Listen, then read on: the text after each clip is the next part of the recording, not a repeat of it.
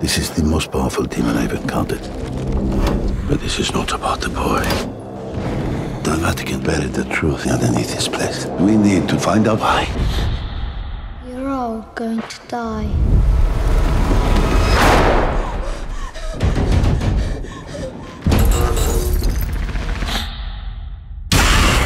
โป๊ปปราบผี วันนี้ในโรงภาพยนตร์